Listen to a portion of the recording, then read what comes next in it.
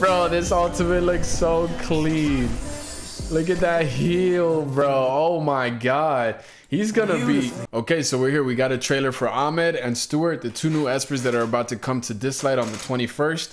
And we're actually about to see some gameplay. And I'm really interested in this because I really want to see their animations. I'm really big into animations, and uh, this game, the animations really, really well on the characters and um, I'm just excited in general because it's new characters. So uh, let's just let's just get right into it. Let's see uh, Stewart's ability first.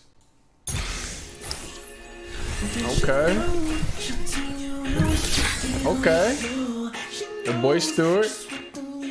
He got the short shorts on. the hypnotizer. Forget your worries. Oh damn, that's a little loud. And wake with the dawn. Sorry about that. The music sounds good though. Okay. The moonwalk? story? It's pretty good. Okay, okay. I like I like his aesthetic. If you need it's cool, help, man. Just say the word. Urban futuristic kind of a thing. Okay, so we got his first ability there. Let's let's watch all the animations first, and then we'll go into the into into their play gameplay. Okay, that's his basic attack. That's his second ability. Okay, that also puts him to sleep. And this is his ult right here. You need to sleep. Time vortex. That looks so cool, bro. Okay, and that's his nuke. See you next time. Okay. Okay, I, hopefully I see you next time, man. I'm really trying to pull him. I really do hope they put the four star rates for, for these guys up also as well as the banner character. I don't know if they will start doing that, but all I know is the banner character right now is what they got as a main as a main thing. So yeah. Oh, and also I read in the patch notes that they actually changed the pity now, so it's actually 450 for you to be able to get the character guaranteed. But people are saying you got to go all the way to actually 470. But instead of it starting at one percent, uh, the probability of you getting uh, the new banner character starts at 10% for every time you pull legendary. So it, off the rip, it starts at 10%. So I'm really happy about that change. So that means more than likely we should get the uh, the banner character, right? So if you're really unlucky, you'll probably have to go to that pity, even though that they they did lower it. It's still really expensive. So be be very very careful with that. Uh, let's go into his moves here. So so this is his first ability. He snaps out uh, his uh, with his fingers and he throws out this his blast and it deals damage to an enemy with a chance of inflicting sleep. We're just gonna read the abilities based off uh, what we got here. Well, I already read and went into in depth of their in, of their abilities in the patch notes. Um, so if you want to see that, I'll leave a card up here or something, link into that video. But all right, so he deals damage with a chance of inflicting the sleep. Okay, cool. I know uh, his abilities also have high multipliers, so Second ability here is Soundly Dreams. That that was a pretty cool blast, looking blast there. Um, so Soundly Dreams deals damage to an enemy if the target's HP falls below a certain percentage. After the attack, inflicts sleep on on them. Okay, so I think uh, these next two abilities actually have a high multiplier, right? Um, and remember, in this trailer, he's level one, so we don't really really get to see how hard, and he has no gear too, so we don't see how hard it hits. But for a level one, hitting at 744, that's actually pretty good. So and he has a chance of inflicting uh, sleep. So it's uh, Nuker uh, with a um, with uh, some CC. And I believe when I was reading his abilities, you you want to build him with HP because he's kind of kind of skills off HP, his damage too. So let's watch that ability here again. Boom, that looks pretty cool. That looks pretty cool. I like it. And then his uh, ultimate time vortex deals damage to an enemy at the cost of a caster of the caster's current HP. So he loses HP when, when doing this damage. As you can see, the 258 right there. Uh, right as he's, char he's charging his ultimate, he does damage to himself. When landing a critical hit, deals an additional deals additional damage to the target based on their max HP. Okay, so okay, so I think that's you got to build him with HP so you can do more damage. This attack inflicts sleep on both the caster and the and, and the target at the end of the turn, so he puts sleep on himself. But then the extra thing about this uh, thing about his ability here is that this inflicts sleep on both the caster and the target, uses soundly dreams to counterattack if the ca caster is woken from sleep. So if they awaken him, they he will um he will come out and do his uh, his uh, second ability. But let's see these this uh, animation again. Looks really really good. You need to sleep. I'll help. Very very nice. Very beautiful looking. Oh my god, for a four star, that actually looks so damn good. Wow. Okay, so yeah, as you can see, this is the ascension. But um, the second part of the move, he actually does uh, when you wake him up would be this. If you wake him up, he does soundly dreams and he'll actually hit uh, counterattack the person that woke him up, I believe. And he might have a chance of putting putting them to sleep. So he's like a very put you to sleep kind of character. And he has high uh, scaling abilities. So yeah, he's he's a kind of like a tank DPS with a good CC. So he, he seems like he's going to be a really solid unit. Let's see this ultimate one more time. Clean, boy. Ooh.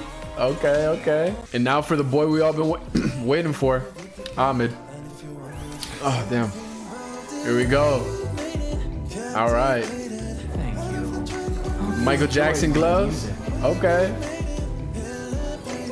He gives me like Prince vibes. Very, very cool. He's a support unit. If you guys didn't know. It's kind of like Clara a little bit. Kind of like Clara, but some uh, some differences. Oh, hi. I feel like he's gonna be a better healer though than Clara.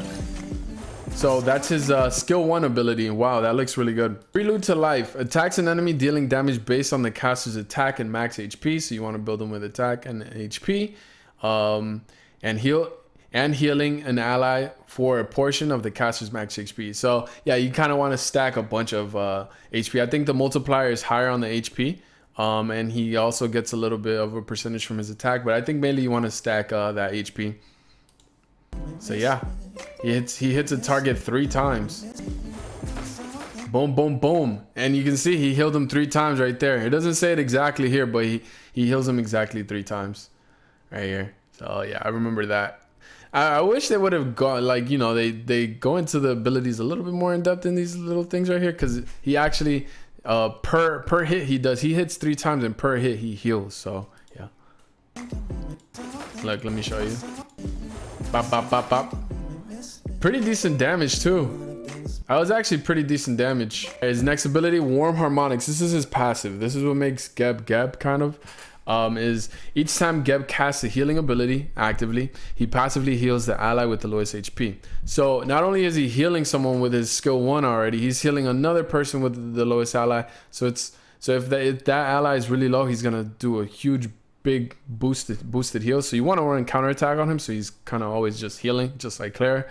If a target suffers from a max HP penalty, restores the target's max HP threshold by a percentage and apply one stack of supporting song. So his new ability, supporting song, can't be dispelled, and it gives you 2% of attack per stack, and it stacks up to uh, 25 times, I believe.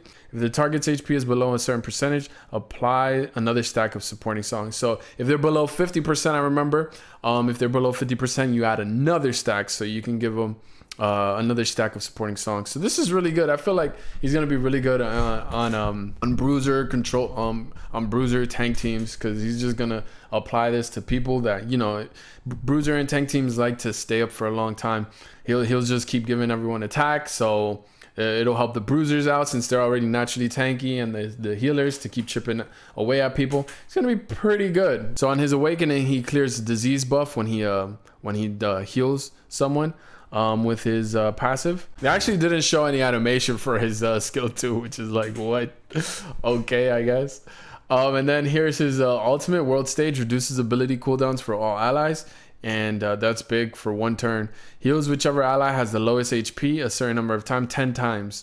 So he can heal a single person or a bunch of people that are low on HP and restoring their HP equal to a portion of the mass caster's max HP, which is actually pretty high up. The scaling is really high. I think it's 70, 80%. And uh, cooldown will not be affected by unit abilities. So if somebody's trying to lower his cooldowns, it won't work. He's the cooldown king. So this is how it looks. This is his ultimate.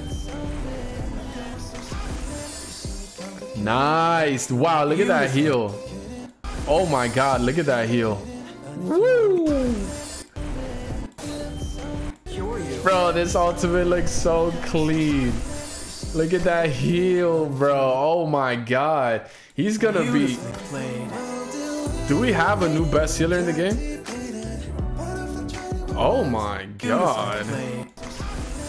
Legit the best healer in the game. May the rhythm cure you. Might be. Might be. Should you summon for him? Beautifully bitch. Bro, he's good. He's good. He's really good. He's really good. And the jams are so smooth, bro. I love the jams. I love the jams.